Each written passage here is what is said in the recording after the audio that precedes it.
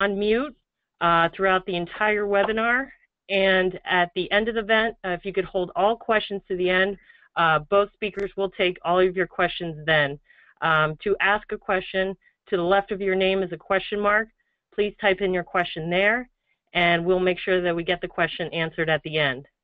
Um, so without further ado, I'd like to go ahead and introduce to you our Executive Director of ACT, uh, David Strauss. Thanks, Casey. Good afternoon, everyone. Thank you for joining us on our, our webinar this month. Uh, we had over, as Casey mentioned, over 200 registrants for today's webinar. Uh, there's a lot of interest in this topic, uh, representing a wide range, a wide range of sectors within the transportation demand management industry. Um, please take a moment right now to let us know how many people are watching uh, with you. We'll put a poll up.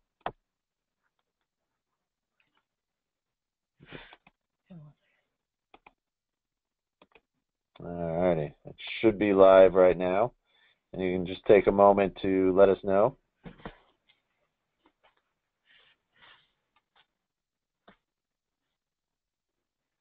Alright, they're coming in. Uh, zeros. Ah, so that means there's one person. Yeah, there's just Alrighty. Um, the Association for Commuter Transportation is an international association leading advocate for commuter transportation and transportation demand management programs. We strive to get the most out of our transportation system while improving the lives of commuters, increasing the livability of communities, and supporting the economic growth of businesses as we look to create a better journey for everyone. Please take a moment to let us know if you're a member.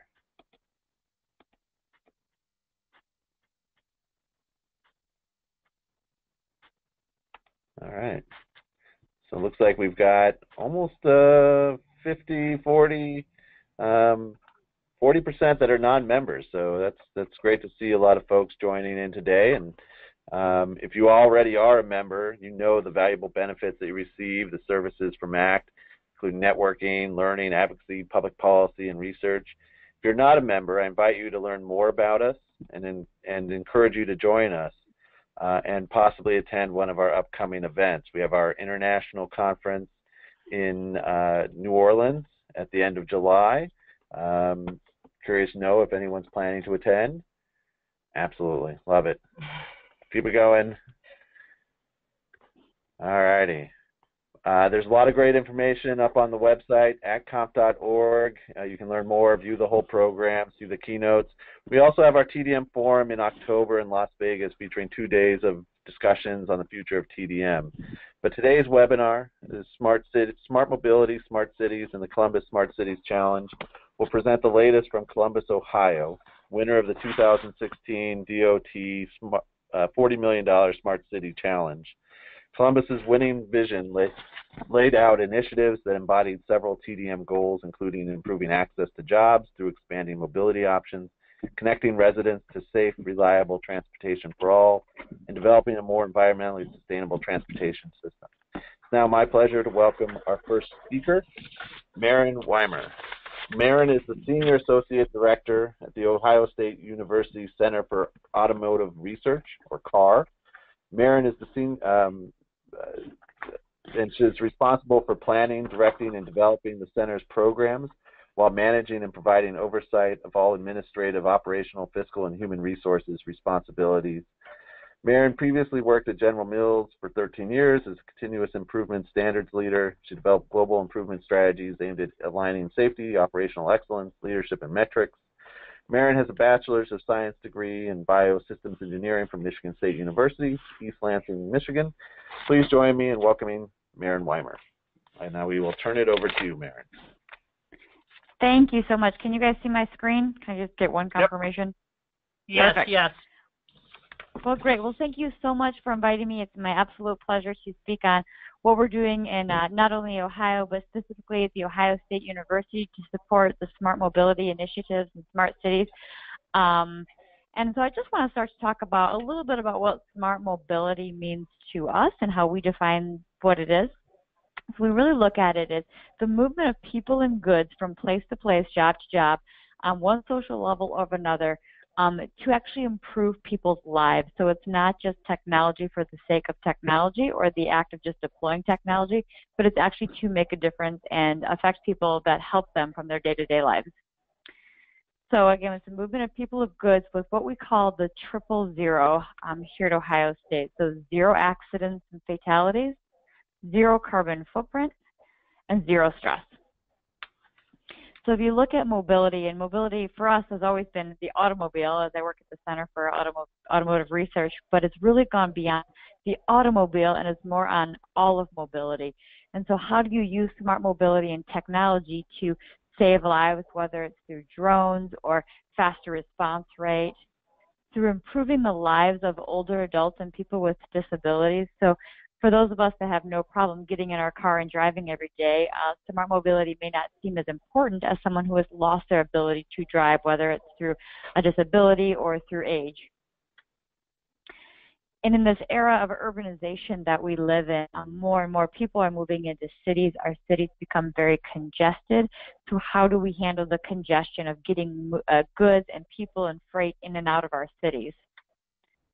Um, and also always keeping in mind environmental sustainability and economic sustainability. So what we've done in Central Ohio, which has been very unique, is we've set more of an, a Central Ohio smart mobility vision that says we in Ohio will lead the nation in the development of smart mobility and smart city technology, and will have a major impact on transportation that will drive growth within our state and city. And we'll do that through a couple of different areas. Um, we have a very unique proposition of a test bed. The Transportation Research Center is one of the largest independent proving grounds in the country. Um, it's located about 35 miles west of Columbus. And then we have Ohio State University, which is the largest university in the country. It has about 100,000 people in and out of it on a daily basis. Um, and so we call that a contained test bed because it's essentially a city within a city. And we're also working with the state to, we have a grant that has approved a public road that connects these two cities. We'll talk a little bit more about what we've done to be able to improve our smart mobility capabilities. So I want to talk a little bit about the Transportation Research Center and how that really gives Ohio and specifically Central Ohio um, kind of that leg up and that that advancement with smart mobility. So for those that are unfamiliar, it's in East Liberty, which is a small city um, outside of uh, Marysville. And it's a very large independent trust tech, like I said, for those in the mobility space. Um, you can see this picture kind of gives you a, an airplane view of what a proving ground looks like.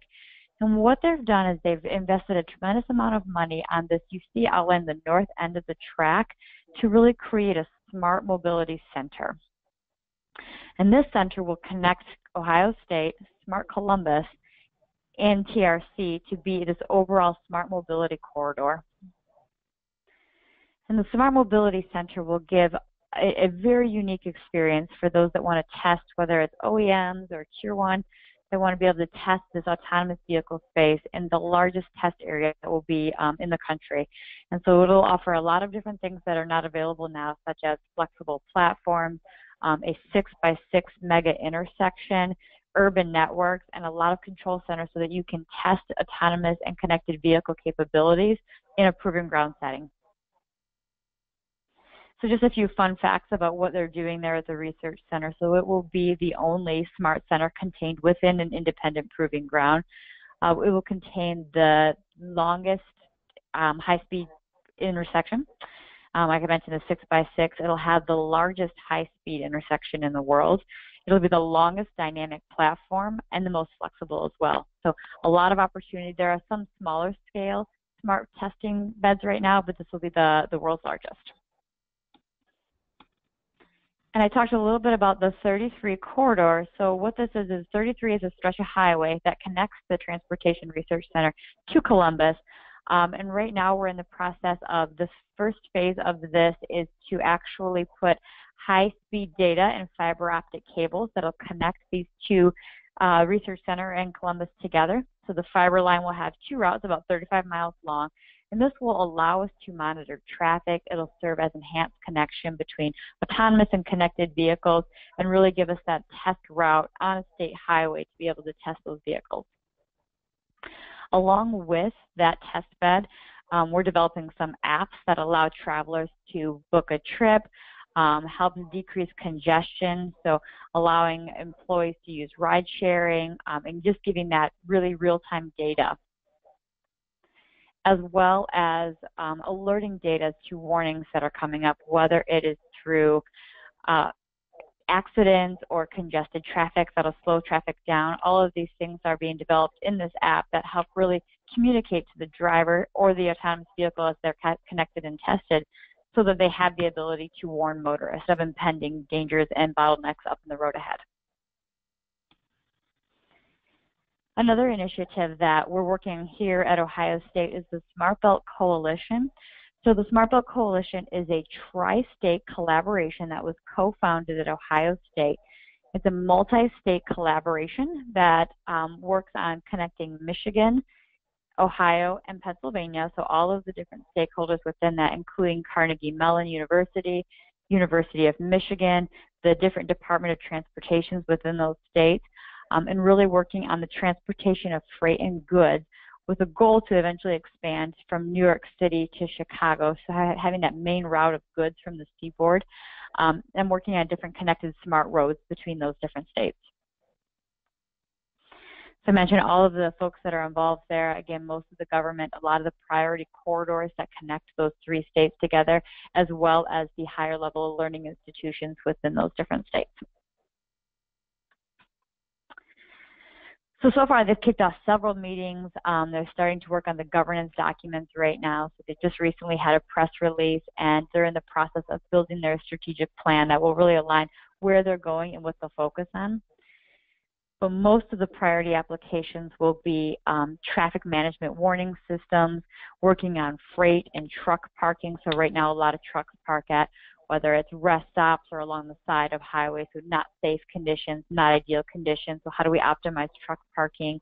Um, work lanes, so lots of construction is always taking place, so having lane reservation systems, understanding where work zones will be as well as safe and efficient response time. So as we work on truck platooning, last mile shuttling in different work zones, having that connected communication between the vehicles uh, and between the infrastructure as well.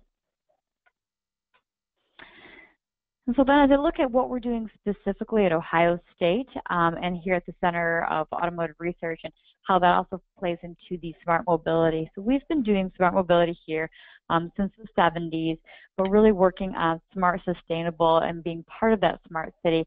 Um, a big struggle we have here, specifically in the Midwest, is that first mile, last mile solution. So I can get people relatively close to their destination, but how do we get people actually to the destination and from the destination so that we can have that's the weakest point right now that we'll focus on. From the automobile itself, we also work very heavily on what do we do to optimize the internal combustion engine. So as we work on electrifying a lot of vehicles and making them uh, greener and more sustainable, the internal combustion engine will still be there for, for many, many, many years. So what do we do to optimize the vehicle-to-vehicle connectivity or the vehicle-to-infrastructure connectivity through the powertrain so that we can optimize how the vehicle, whether it's adaptive cruise control um, or whatever the vehicle may be able to do and uh, leverage those opportunities to develop new tools so that we can optimize our powertrain systems in our vehicles now. So this is some of the work we're doing within Ohio State to be able to improve fuel economy, be more sustainable, be more connected, um, utilizing some of the powertrain systems we have today. Um, we also have at Ohio State the OSU Campus Transit Lab. So we have our civil environmental engineering group here works with our CABS group, which is our campus bus system here. So there's a lot of routes, there's a lot of community, a lot of passengers, and it really serves as a research lab to do a lot of proof of concept development and testing within the university. So some of the unique characteristics of having this living lab on campus is the physical proximity. So we have uh, lots of data and lots of infrastructure within the campus to be able to utilize. We have students that utilize the, the work a lot and help us observe and research and educate so that we can understand what it means to have this living lab. Um, and because of the size of our campus, it's a huge campus with a lot of diverse campus activities. We have a lot of complex examples that we can use. So data is um, data, data, data. We have lots of data. It's continually collected and downloaded and stored in our automatic vehicle location. So every bus has this high temporal frequency that we can grab all this information. And then what are we going to do with this information? So then we use this information to help detect congestion patterns, um, do analysis on the vehicle itself, scheduling service and reliability. So really understanding kind of how to better paint a picture of the vehicle itself and how it interacts with its surrounding to optimize that. Some of the specific applications that we've used is using some of the LiDAR or the sensors within the vehicle to help detect traffic flows um, and develop traffic speed profiles within those as well as using video imagery from the bus itself to be able to understand traffic speed patterns, um, conflict detection among transit and other vehicles, and detect pedestrians and other vehicles on the road. And then it collects all that data and allows us to analyze the data to figure out how do we better paint this picture and then use that to for, as a platform for parking, bike sharing, car sharing, um, other on-demand services which may involve electric and automatic vehicles, and areas that we continue to expand this lab to understand how this data um, is useful and what we can do with it to optimize our vehicles on campus. So in all of the, the development of all of these things kind of pulled together, and we're really proud here at Ohio State and within the city to be able to pull all these technologies and data. So we have we have a very collaborative workspace here, and that's kind of a, a unique sweet spot of Ohio State is to have a large campus and university that can pull together mechanical, computer science, electric, electrical, civil, environmental engineers, um, all with the intent to improve people's lives. That is all I have. Randy, it is all you.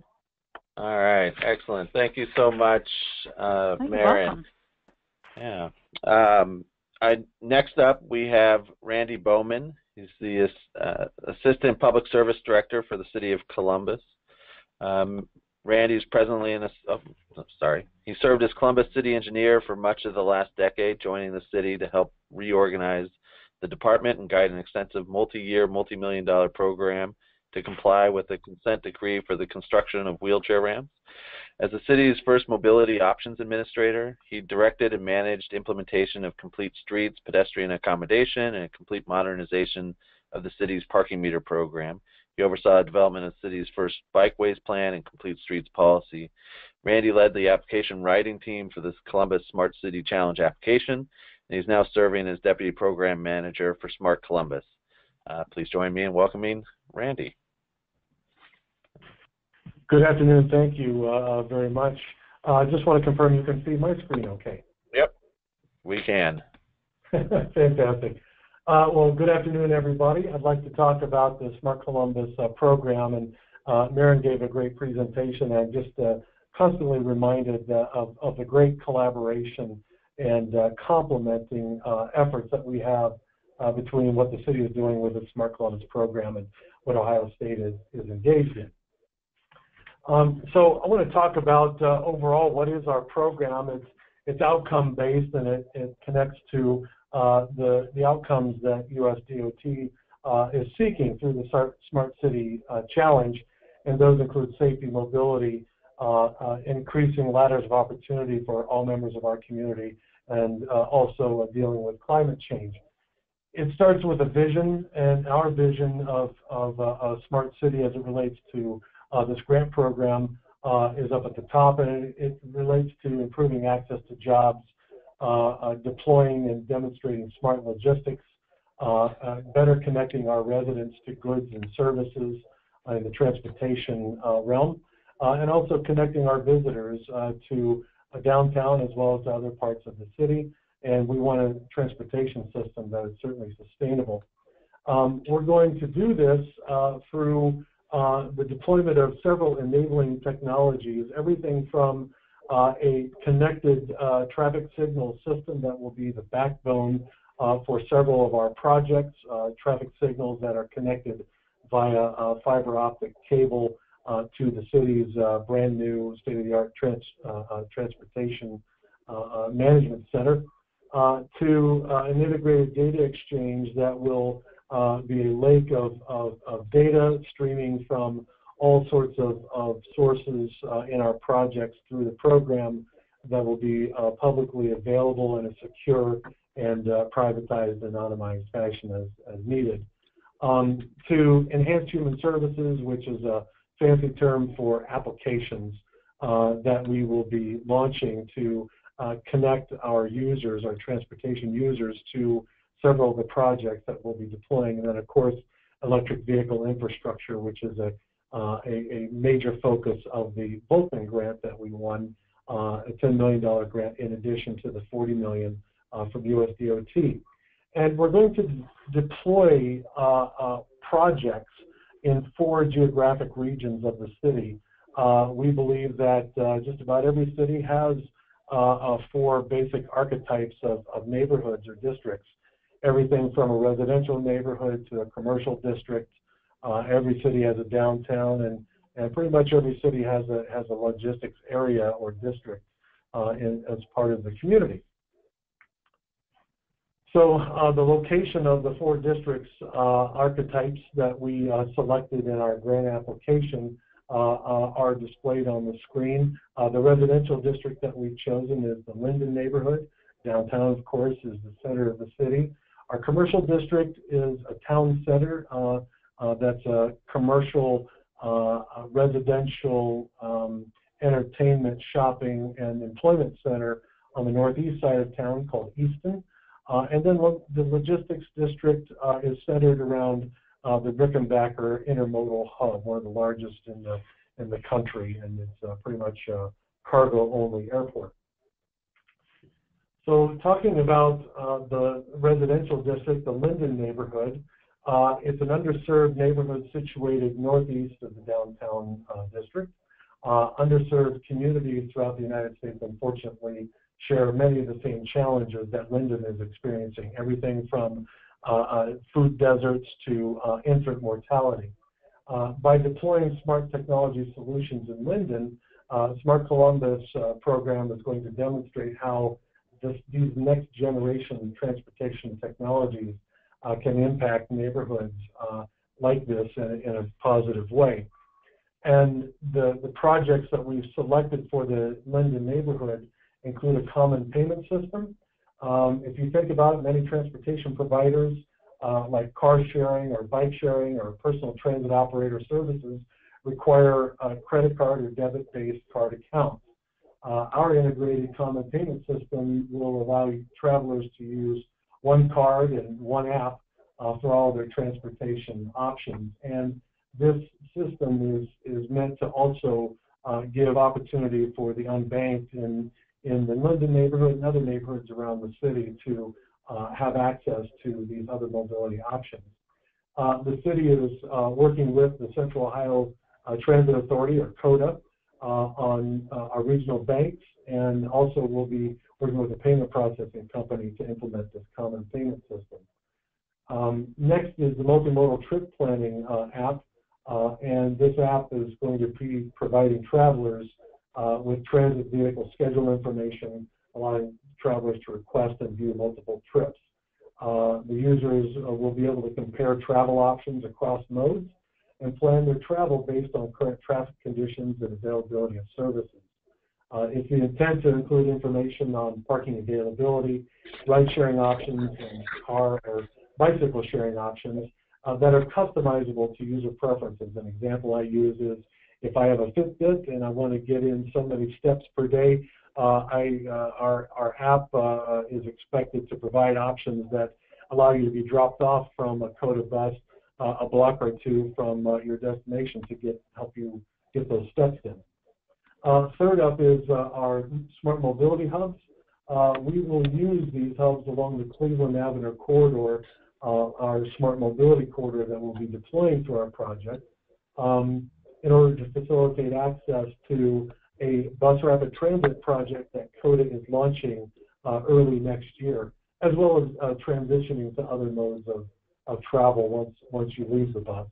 Uh, as part of the, the Bus Rapid Transit project, uh, transit stops uh, throughout the smart corridor on Cleveland Avenue uh, may also be equipped with additional technologies uh, uh, such as Wi-Fi hotspots, info kiosks, perhaps parking for electric vehicles to charge at a ride, a park and ride, etc. Uh, additionally, uh, we uh, expect the neighborhood hubs to be used to, to help facilitate first and last mile travel by supporting a range of modal options, such as expanding the city's bike share service into the Linden neighborhood. Uh, next up is uh, an app uh, to provide assistance, mobility assistance for residents with cognitive disabilities. During the writing of our grant application, we learned of an app that provides assistance to folks that have um, short-term memory problems or memory issues in remembering their trips. So the app uh, uh, is expected to provide uh, behind-the-scenes support to, to the app user to get from point A to point B. Um, these projects are, are in development. I'll actually talk about where we are with, with the program as a whole. And as we get into the, further into the planning process, we'll work through the details with our many partners, including, of course, uh, members of our community. So uh, the commercial district is about one, one project particularly, and it's connected electric uh, uh, automated vehicles.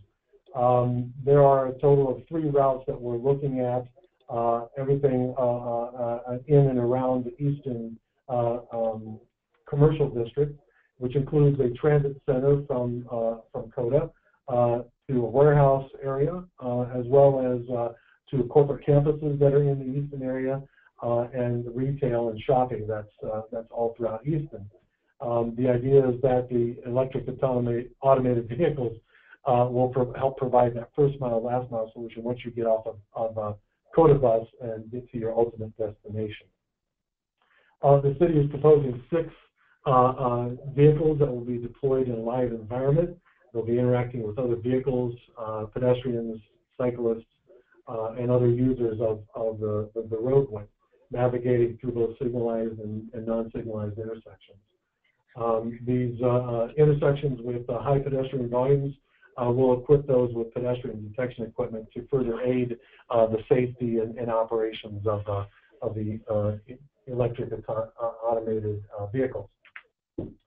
the downtown district, we have three projects that we are expecting to deploy applying to downtown. Uh, first is the delivery zone. So we have bread trucks that are delivering bread to restaurants in busy areas. And if uh, they come up to a public loading zone on the street and it's full, uh, they either circle the block until they find an empty space or they double park. Uh, and we would like to have smart delivery zones that uh, will stream um, up to the second uh, occupancy information that'll be streamed out through our integrated data exchange and made available uh, through an app uh, to delivery truck users so they'll, they'll better plan their, their trips. Uh, enhanced permit parking, we have an offer from one of our partners to use uh, uh, RFID tags uh, to help us explore their use in um, making parking more efficient in permit parking areas in and around the, the, the, downtown, as well as enforcement activity. And then lastly, uh, we'll be uh, working with our Visitor and Convention Bureau uh, to develop a real-time parking application and event parking management uh, uh, app for visitors to Central Ohio with the idea of providing direct routing for those travelers to their parking destination to help reduce the overall congestion and enhance their experience as they visit Columbus. Um, the logistics district is about uh, a truck platooning demonstration where truck number two follows truck number one and wirelessly uh, uh, the uh, uh, throttle and braking of the second truck can be linked to the, the, the, braking and throttle activities of the first truck. The idea will be to help mitigate congestion on roadways and, and enhance fuel efficiency. Uh, oversized vehicle routing, uh, the bridge in the photo, we call it the can opener. Uh, and sadly, uh, every so often, uh, tractor trailers hit that bridge. If we provide, which we will, information on low overhead obstructions or width or, or bridge weight restrictions through our integrated data exchange, we hope that that will help uh, the safety and operations of our logistics business community. And then lastly, we're working with Ohio Department of Transportation uh, to make available their project, their information on an interstate truck parking uh, uh, through our integrated data exchange. Uh, we uh, uh, are governed by um, an executive committee that is advising us on all matters related to our program from a high level. And we also have assembled working groups that are advising us on our various projects. On the left-hand side, you'll see 11 working groups that we've assembled. On the right-hand side, uh, they're advising us on the 15 projects uh, that we are uh, uh pursuing through the USDOT grant. Uh, the groups uh, range in size from less than a dozen local or regional experts up to upwards of, of 30 members. Um, and since December, we've held at, at, least 20 meetings with these groups, with frequently meetings with the chairs and co-chairs of the, of the of the groups. So we're getting a lot of good advice. Uh, in addition to these more technical-minded working groups, we also have uh, overarching working groups that we've assembled to advise us on policy, um, communications, uh, data and analytics, diversity and inclusion, and uh, a new one uh, uh, on culture and creativity because with our diverse population, if we want to succeed as a smart city, we've got to be able to communicate to all members of our community. So as promised, uh, here is where we are with our program. Uh, if you uh, point your finger at, at, the second A in data collection at the bottom of the chart, that's about where we are on the timeline. Uh, at a high level, uh, we'll have ongoing program management and outreach and communication activities over the course of our four-year grant with USDOT. Uh, but it all started at the end of August of 2016 uh, when we executed our agreement with, with the federal government. Um, the first year, as you can see, of our program is focused on detailed planning and preliminary design activities that we need to do to determine in greater detail what projects we will deploy and how we'll deploy them. Uh, the second and third year of the, of the program will involve developing and designing the various projects, procuring components, testing them, and then deploying them uh, in our in our various districts, uh, and also uh, lighting up the cloud with our integrated data exchange. all projects are expected to be in full swing in, in the operations and maintenance phase by the beginning of our fourth year of the program. Uh, by then, we will be collecting and analyzing many, many data streams. I think Maren said data, data, data. Exactly right. There's probably a fourth data in there too. Uh, and we'll be collecting that through the integrated data exchange and making the data available to others, uh, uh, partners, the public, and particularly our, our research community. Uh, to date, we've delivered um, uh, three uh, important documents to, to the USDOT that detail our approach to managing the, the project, our systems engineering approach, and our overall communications and outreach plan. Uh, for the remainder of 2017, uh, we're going to be focused on developing and delivering uh, concept of operations for all of our projects, system architecture and standards plans, system requirements, and various other other um, upfront planning level documents that help ensure that we are proceeding in an orderly and well well thought out fashion on these projects. So we anticipate procurements uh, to start as early as the first quarter of 2018, and they'll progress throughout the, the rest of 2018. Um, some projects uh, will be easy to procure, others will, will take more time. Uh, but again, all projects will be fully deployed uh, by August of 2019, uh, so that we'll have at least 12 months of data gathering, uh, performance measuring, and reporting at the end of our four-year grant. Um, one of our requirements from, from USDOT is that uh, we uh, uh, provide uh, large volumes of information and data about our performance so that they can learn as well as uh, the other 77 cities and more across the country uh, that were interested in, in the Smart City Challenge. So the other grant that, that we have is the grant from Vulcan and it's uh, on electrifying our fleets and decarbonizing uh, our uh, energy supply. Um, there are five initiatives that we're pursuing. So decarbonizing electric supply.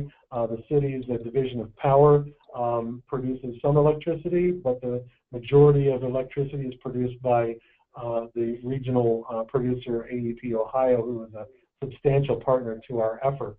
Uh, fleet electrification for both public and private fleets, and there is an overlap of projects and, and, and, the initiative with Vulcan, and that's on the autonomous uh, vehicle that we'll be testing at Easton.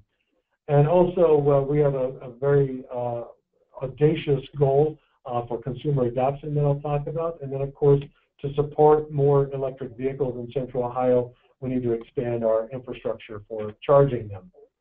So, as I said, AEP Ohio is uh, a substantial partner to our efforts. And one example of their partnership, they've, they've committed to uh, installing nearly one gigawatt of solar and wind uh, uh, statewide that will also uh, help serve Central Ohio.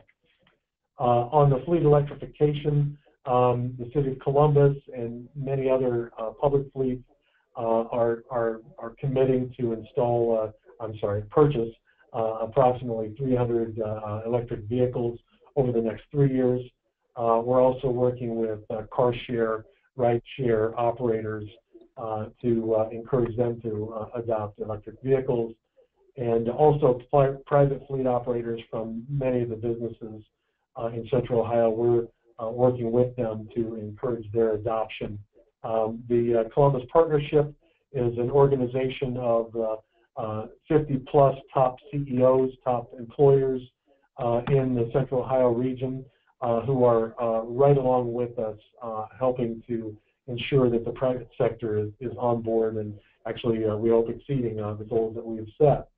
Um, this is the overlap project between the Vulcan grant and US DOT grant, the six electric autonomous vehicles that we'll be purchasing along with some EV pedal assist bicycles that we'll be deploying in the Linden neighborhood to expand the city's COGO um, bike share program.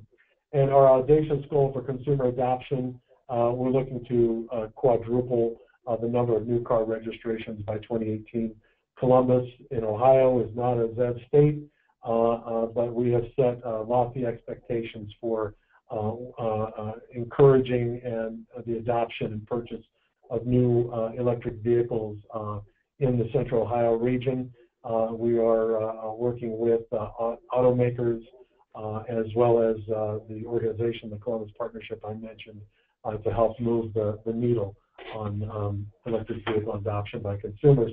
And then we're, we're projecting at least, at least 1,700 new charging stations to be installed for public charging, fleet charging, uh, residential and multi-unit uh, developments, as well as uh, workplace charging throughout Central Ohio uh, in as much as working groups are advising uh, the 15 US DOT funded projects.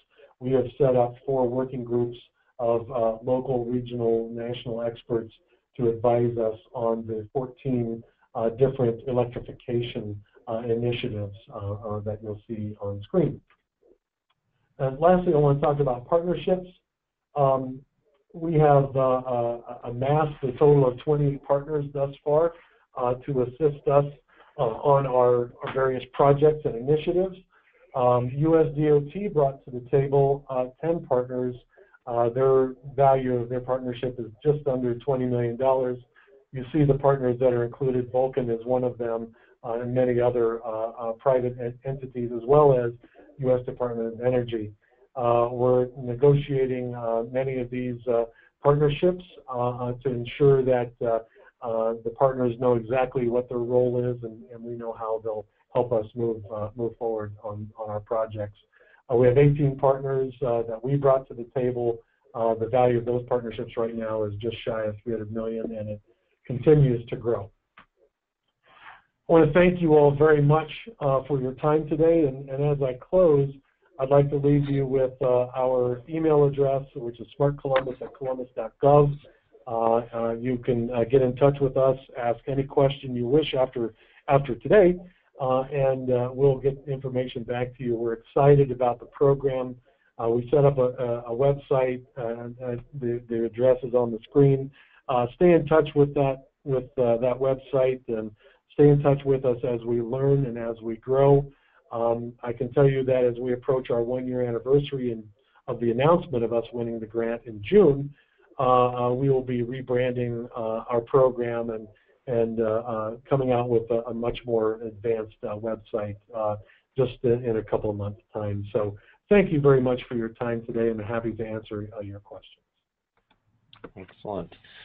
Thank you so much, Randy, and thank you again, Maren. Uh, we've got a few questions that have been entered into the question box. If um, individuals are listening, you can um, uh, type in your questions and we'll try and get through as many as we can.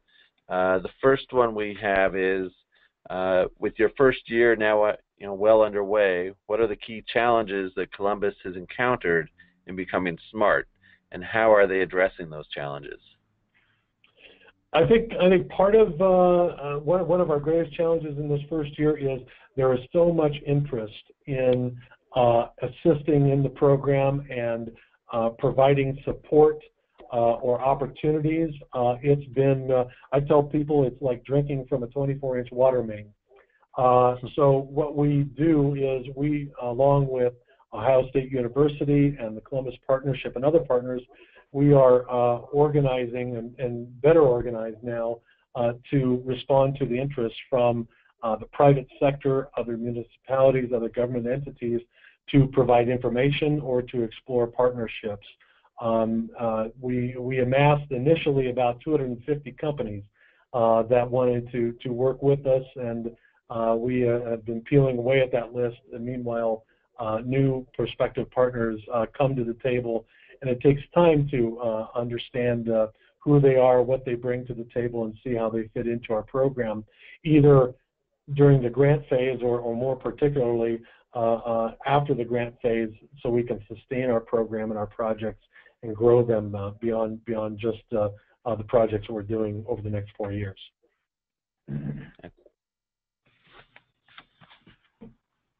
Maren, did you have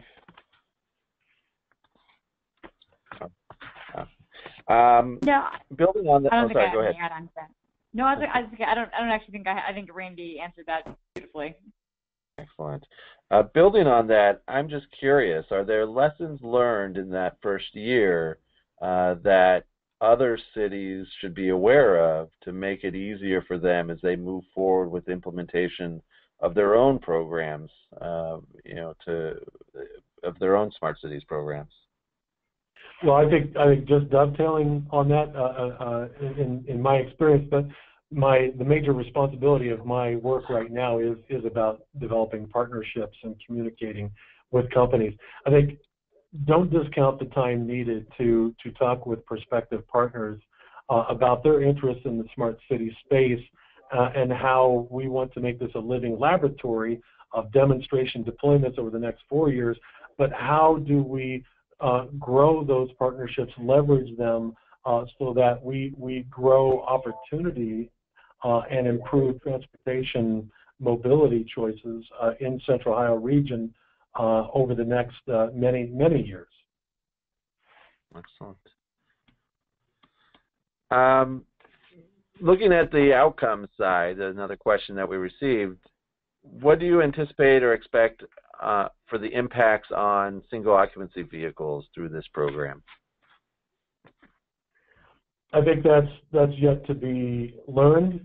Um, we uh, uh, want uh, more, uh, uh, we want fewer um, single occupancy vehicles, certainly, and we believe that coupling the electric autonomous vehicle deployment as a first mile, last mile solution to using more traditional mass transit, we, we are, are hopeful uh, that we're going to see a rise in, in the use of mass transit if a rider knows that if they've got uh, upwards of five or six or, or more blocks to walk after they get off of a bus, that they have an opportunity to hop on uh, a shuttle that can take them to that destination or much closer to that destination uh, uh, in inclement weather or if they're uh, they have bags or, or a stroller or or um, if, um, if, if they're a disabled uh, customer. So we're hoping we're going to see uh, a rise in, in the usage of of uh, the, the bus routes that will be uh, served by uh, the electric autonomous vehicle. And then, of course, by providing apps um, that uh, show options for a user uh, that could include uh, driving a car, but also provide op options to connect to car sharing or the mass transit options or or bike share or, or simple walking. Uh, we're hoping that, that uh, by analyzing uh, the performance data from these apps that we'll, we'll see a, an uptick in, in the usage of alternate modes other than a single occupancy vehicle. Excellent. Yep. In this, uh, the next question, uh, and it might be more for Maren, uh, in the transit pedestrian safety area, is this where bicycle crash issues would are being handled? And how are autonomous vehicles being programmed to avoid collisions with bicyclists? Yeah, that's a great question. So we have an entire team that focuses on not only the build of autonomous vehicles, but more importantly is the that we call the moral algorithms that go into the the software of the uh, the car itself. So how does it detect crash? How does the car make decisions? Um, that we as humans are perfectly acceptable that you had to make a decision and not hit the student, but if a car has to make a decision, we're we're suddenly uneasy with that um, and utilizing whether it's AI technology as the car learns.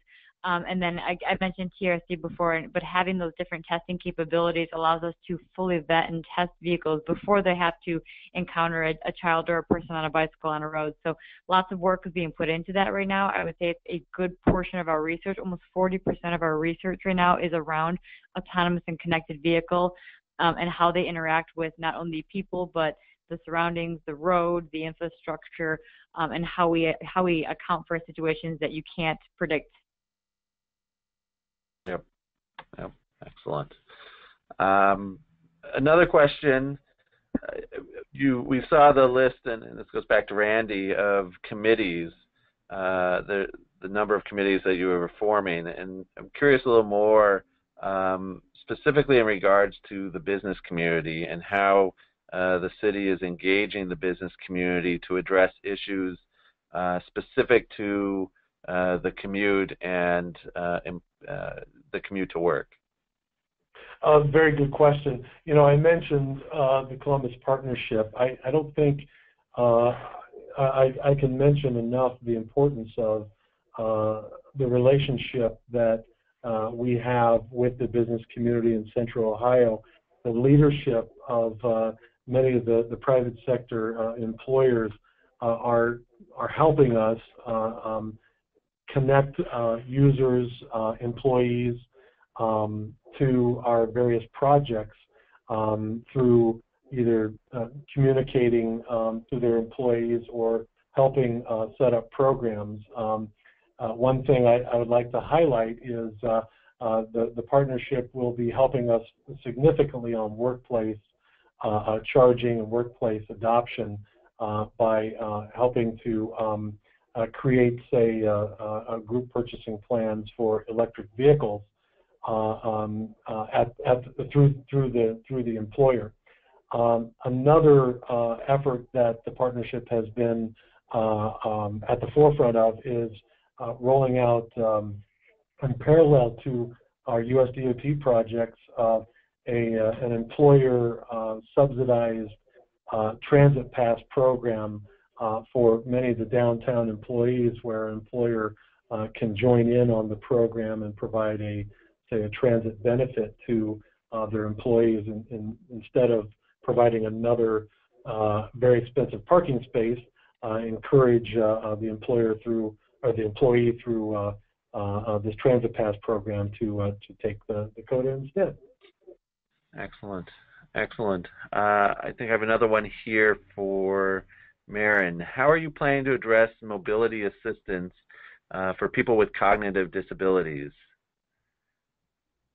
Uh, I think that's a great question. And oh. so as you look at, oops, sorry, can you hear me? Yes, yes, sorry. Yeah, so as you look at the future of autonomous vehicles, which are projected to be on the road and potentially the next five years and, and heavily on the road by 2020, is um, they when you get to a level five or a full autonomous vehicle, you'd be able to accommodate people with those cognitive disabilities. So we, we obviously have a long ways to go, and there's a lot of research to be done and a lot of work to be done putting into those. A lot of policy and legislation needs to be put into place. But but I think that's where, as you look at people with those types of disabilities, this is where autonomous vehicles becomes a wonderful solution to them. Um, to be able to be mobile still and not lose their ability and capability to drive. I, I could I could just add to that too the the very specific project that I mentioned as part of our program. Uh, we're looking for uh, uh, an app to to demonstrate the ability to provide uh, turn-by-turn assistance to uh, a user with a cognitive disability, uh, with the idea that a caregiver behind the scenes has the ability to provide assistance to to the user of the app, and the app would provide not only turn by turn, but also uh, we would hope uh, provide some visual cues to provide assistance to, to that user to get to the destination. Excellent. Uh, while we're on the on the topic of users, what are you doing to involve the user? Are you carrying out user experience research for autonomous vehicles or multimodal transportation?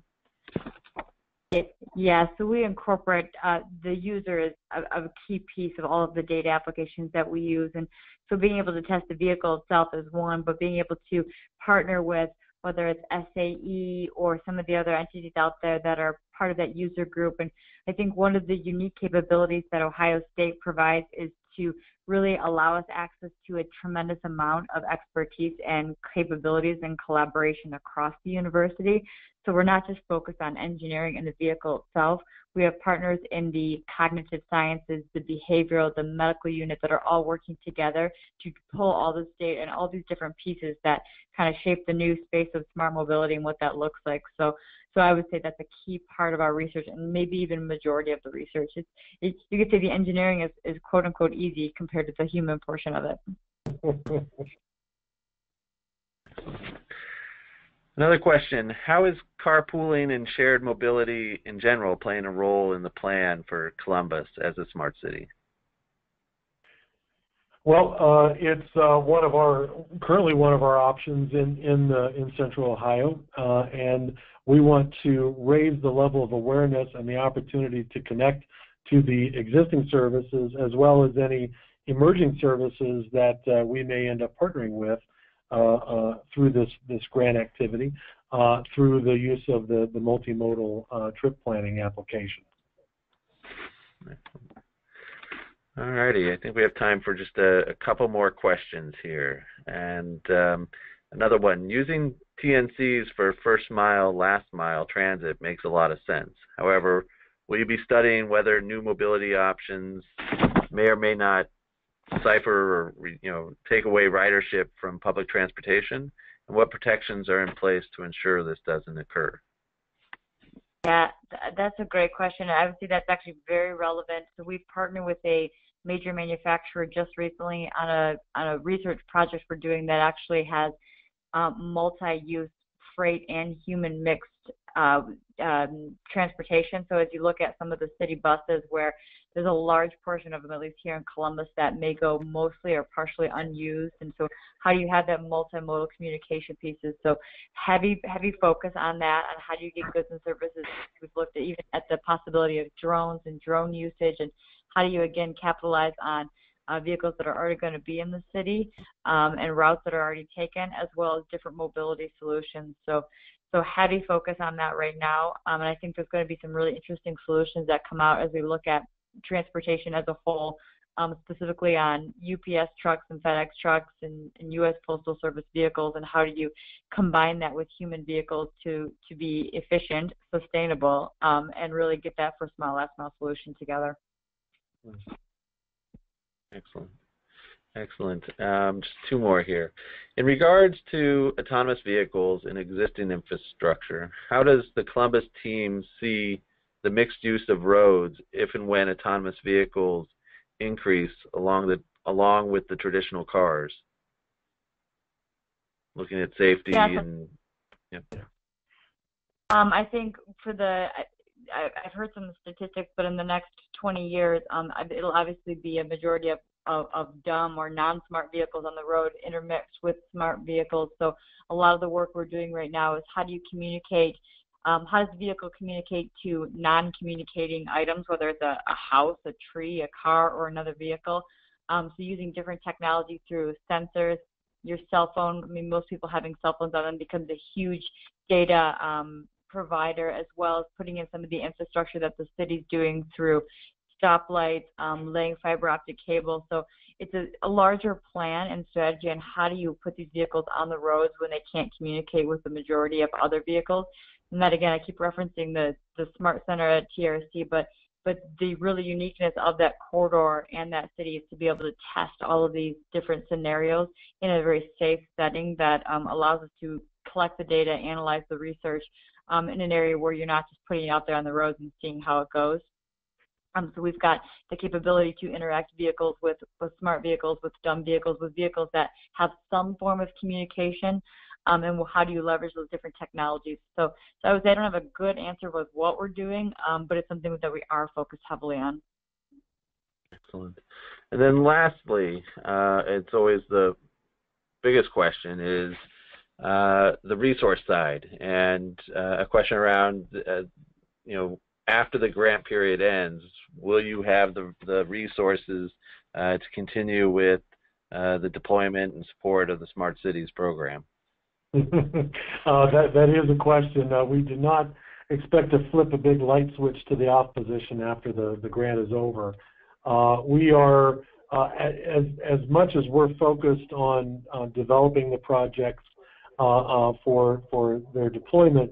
At the same time, um, uh, leaders in Central Ohio are are focusing on um, what what is the what is the, the sustainability and, and how of, of this effort and how do we grow it uh, beyond uh, the the 28 projects and initiatives that we that I've talked about today, uh, and that includes you know how does the private sector and government grow closer together uh, to make these these these things happen and, and to achieve those four basic outcomes uh, that USDOT uh, uh, wants us to achieve. So uh, we are uh, we, we are looking at that, and there is the the commitment by leadership. Without without their buy-in, without their understanding, you know the the program will will not succeed in, in the long run. But thankfully, uh, Central Ohio has uh, a, a, tremendous track record of collaboration between